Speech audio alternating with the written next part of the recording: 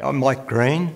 I'm a painter traditionally probably anchored in watercolour, but I've used a lot of mediums. You might call me a realist because I'm inspired by what I see. That anchors everything for me. But what I see is really not what I paint about. I paint about something else, something that's going on in the space. If I was painting semi realistically, as some of the pieces in this exhibition are, I aim to get a sense of the space, the wind, the time of day. Those are important to me. Traditionally, I would say to separate myself from straight realism, I've always tried to put some kind of a barrier in there to make people think perhaps about the space. And sometimes that's just simply a tree. In my earlier works, it was often a chair to get people to concentrate on that point. My newer work, the last 15 or so years, has been working outside other people's spaces and a little bit more into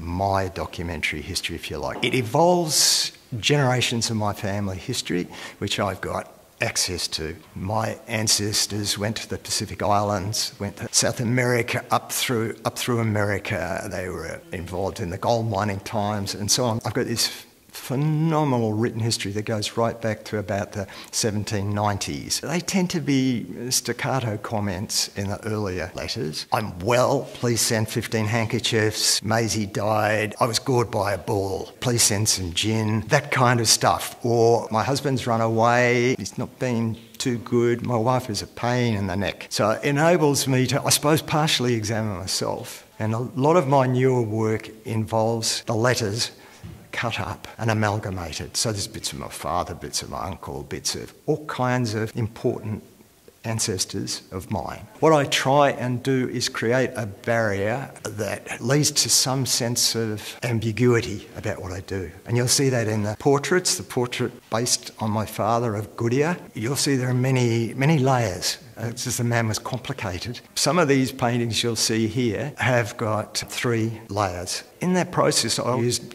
multi layering of paper to give not only up to break up the reality of it and suggest this is we're dealing with something you can't truly know. Sometimes they're really quite abstract underneath because I like to play a bit. So my paintings are a bit literary in that sense, but I try and leave lots of space for you as a viewer to interpret that space. The portrait of my father as a surrogate white man coming to a strange country, travelling from here to there, from Australia to Ireland to New Zealand to America to wherever. Travelling through history and time is really interesting to me. My grandmother was half Tongan, and that means something and it means nothing. It's just a, a quirk. I mean, after all, I'm, I'm up here dealing with subject matter that is uh, relates to the Aboriginal culture of Australia. In a way, I have no right to be there. In another way, I have because these are my songlines. These are my father's songlines. I just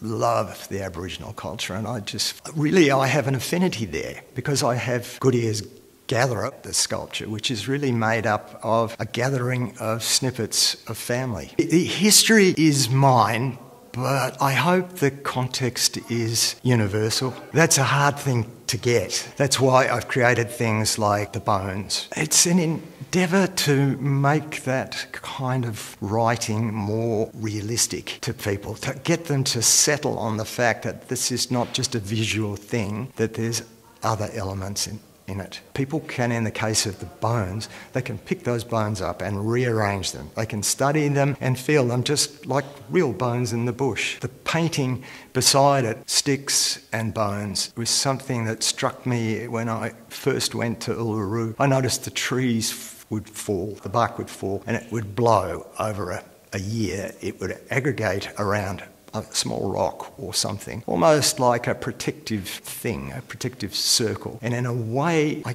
guess that's what I do.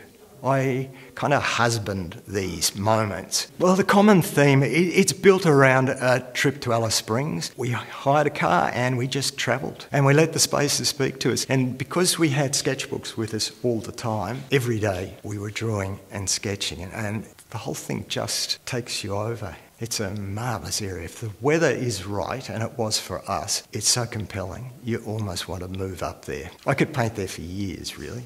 Obviously, I'd love people to be intrigued and hopefully they'll like the work. So I'm hoping they'll take away this journey that I'm on, something of interest that they might like to come back to or ask me about.